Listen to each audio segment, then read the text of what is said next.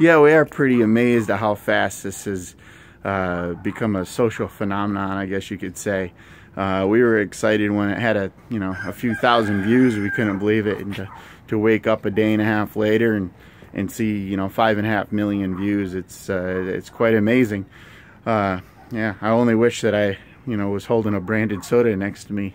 You know, um, yeah, it, it, it's quite remarkable uh, I guess that's why they call something going viral. Uh, hopefully, it will bring a lot of publicity to the farm, and um, you know, we're, we're, we would much rather show people around the farm uh, and, and, teach them a little bit about sustainable living, uh, even than sell product. I think that's the most important thing here. So, uh, thank you.